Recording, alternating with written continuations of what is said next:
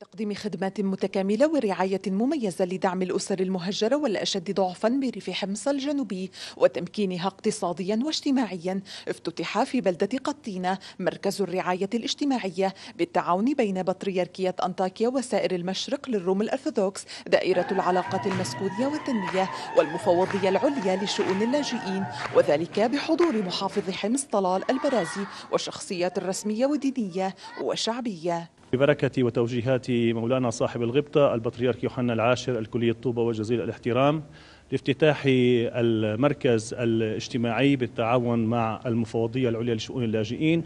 هذا المركز الفريد والوحيد من نوعه في المنطقة الذي سيقيم سيقوم بتخديم آلاف المواطنين وتأمين حاجاتهم. هذا المركز هو ليس فقط لتأمين المساعدات العينية بل أيضا يقدم خدمات في سبل العيش في الدعم النفسي في دعم الأطفال في دعم النساء في التوعية الصحية في التوعية النفسية. ولذلك آه، هو ظاهرة وهو حضور آه، مهم جدا في هذه المنطقة من أجل تقديم الخدمات. مركز الرعاية بقطيني بيخدم أكيد أهل قطيني بالإضافة للمنطقة الجنوبية والجنوبية الغربية. فينا نعد منهم منطقة تل الشور الغسانية الحيدرية المسعودية الجوادية عرجون القصير ربلي العاليات رامل عنز خربة التين. يعني تقريبا أغلب الريف لمحافظة حمص. وأثناء حضور المحافظ لافتتاح المركز استمع من القائمين عليه إلى شرح حول الخدمات التي يوفرها للمواطنين كما جال في بيت المحبة الذي يعنى بالأطفال وذوي الاحتياجات الخاصة وفي مركز العيادات الشاملة ببلدة قطينة الذي تم دعمه وتأهيله من قبل البطريركية. بالظروف الرهنه اللي مرت فيها البلاد بهالازمه الرهنه اللي مرت فصار في بعض المصاعب النفسية والإنسانية والمادية أيضا. فهذا المركز رح يكون ركن وركن أساسي للاغاثه بهذا الجانب بالجانب النفسي والاجتماعي اولا وبالجانب وبعض الجوانب المادية ثانيا اللي شعبنا وناسنا محتاجين لها بشكل كثير هلأ طبعا في أطفال بتجي متحمسة مندمجه مع بعضها في أطفال بتعاني من الخجل في أطفال بتعاني من قلق ما عندها القدرة إنها تبني علاقة مع الثانية. نحن بهي الحالة بنتدخل. ممكن نقدم آه، استشارات طبعا بالأخصائية اللي عندنا. وممكن آه، في حالات بتستدعي نحن نطلع نشوف بالمدارس بالروضات ونتعرف عليهم ونجيبوا اللي عنا نفيدهم من برنامج حماية الطفل اللي عندنا. برسم من شي سنتين والمركز هون هاي السنة قدم لنا كثير شغلات حتى نقدر نستفيد منها. هون قدم لنا الأدوات والمراسم والورق وكل شيء مشان نحن نقدر نفجر موهبتنا بقوة. ويعد مركز الرعاية الاجتماعية في قطينة من المراكز الرائدة والمتميزة لما له من أهمية في مرحلة إعادة الإعمار من خلال البرامج التي يقدمها للدعم النفسي والاجتماعي والصحي وبالتالي سيستهدف العديد من الفئات في المجتمع وبمختلف الأعمار. من مركز الرعاية الاجتماعية ببلدة قطينة في ريف حمص الجنوبي شيرين العلي الإخبارية السورية.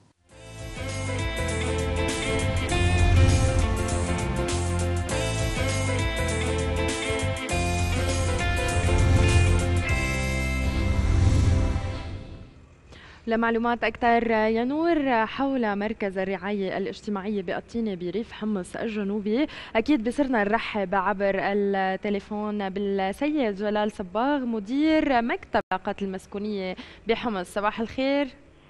صباح النور؟ أهلا وسهلا فيكم صباح النور. يسعد صباحك واهلا وسهلا فيك على شاشة الإخبارية السورية. يا أهلا فيكم شكرا لك. بالبداية خلينا نحكي عن مركز الرعاية الاجتماعية اللي تم افتتاحه. الحقيقة هو دائرة العلاقات المسكونيه والتنمية التابعة لبطريقية أنطاكيا وسائر المشرق للروم الأرثوذكس. على مدى سنوات خصوصا خلال آه، هاي الحرب الشرسة على سوريا استهدفت إنه تعمل مراكز آه، خاصة بالخدمة الاجتماعية بمناطق متعددة بالمدن والريفة على مساحة الأرض السورية وبكافة المحافظات. بحمص نحن آه، كان عندنا مكتب آه، مركز رعاية اجتماعيه طبعا هو بالتعاون والشراكة مع المفوضيه السامي لشؤون اللاجئين ال UNHCR. كان آه، مركز بمنطقة فيروزي عم يغطي الريف الشمالي والشمالي الشرقي. وهو صار له تقريبا أربع سنين. آه، ولدى هيك شفنا إنه في حاجة كثير كبيرة بالريف الجنوبي والجنوبي الغربي إلى مدينه حمص. فتم افتتاح مركز الرعاية الاجتماعيه بمنطقة قطينه نعم. آه، اللي بيغطي الحقيقة مو بس قرية قطينه طبعا إنما كل الريف اللي حواليها. آه، المركز هو له عدة برامج خدمية. تعنى بالطفل والأسرة. وكافة الشرائح. آه، عندنا ببرامج مركز الرعاية الحقيقة في آه، عده آه، أمور منها برامج خاصة بالدعم النفسي إن كان للطفل عن طريق شيء اسمه المساحة الصديقة للطفل أو إن كان للكبار عن طريق برامج الدعم النفسي بال PSS أو البرامج الخاصة بالعنف القائم على النوع الاجتماعي اللي هي تختصر بال SGBV نعم.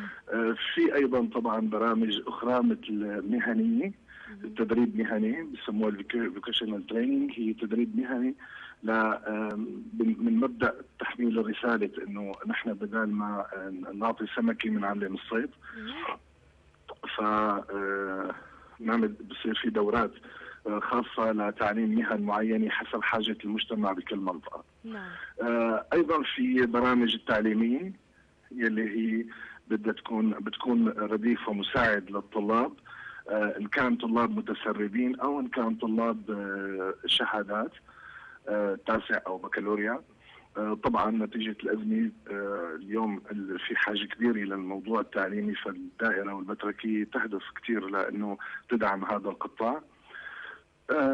أيضا في عنا برامج توعية صحية واضافي إضافي إلى توزيع خلينا شيء بنقول شيء اسمه مساعدات آه، عينيه آه، طبية آه، يعني عينيه وطبية غير نعم. مادية. نعم. تتقدم لذوي يعني للي حاجة لهال لهالنوع من المواد. في عندنا طبعا كمان برنامج خاص بالمتطوعين متطوعي الوصول والمبادرات. برنامج خاص بالجرانتس اللي هو المنح. اللي بتساعد على تأسيس مشروع صغير للأسر المهجرة لرب أسرة أو لربة أسرة أحيانا كمان تقدر تعمل مشروع آه، تقدر تساعد في آه، المدخول لعائلتها. نعم.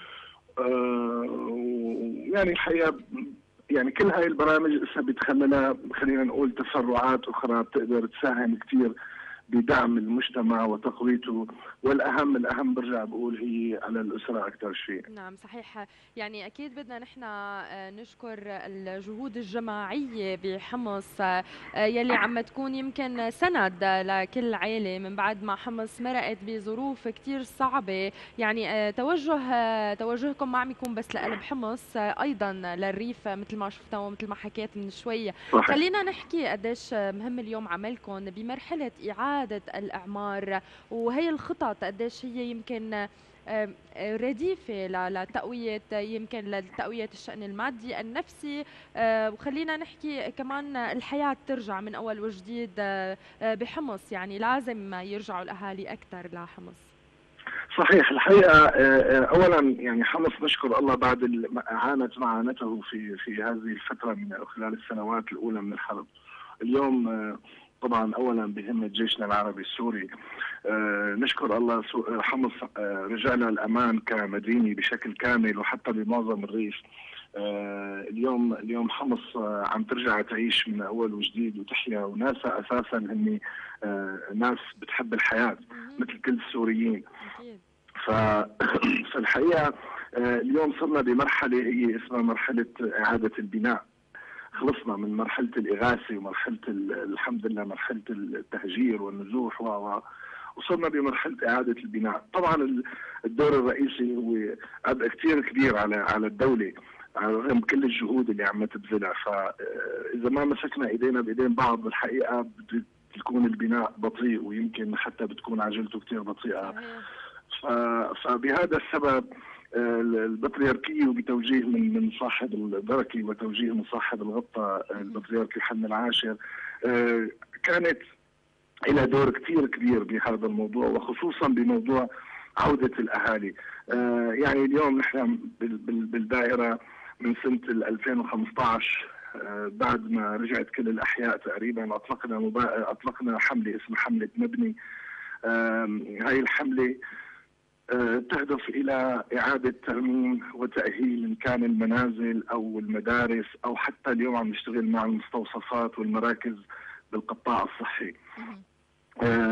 تقريبا بمنطقة حمص القديمة اليوم الدائرة لحد اليوم صارت مرممه حوالي 1050 بيت معظم الأهالي رجعت عادت الحياة أكملت برنامج كامل بحمص القديمة لتقدر ترجع آه، أو تساعد باعاده بترجيع الناس لبيوتها بعد التهجير اللي صار. منا كان طبعا كمان ترميم المدارس اللي اللي هو بده يكون متكامل مع البيوت حتى تقدر الناس ترجع وأطفالها يرجعوا يدخلوا على المدارس. فهذا الدور الحقيقة للدور المجتمع الأهلي خليني أقول هو دور كثير رئيسي.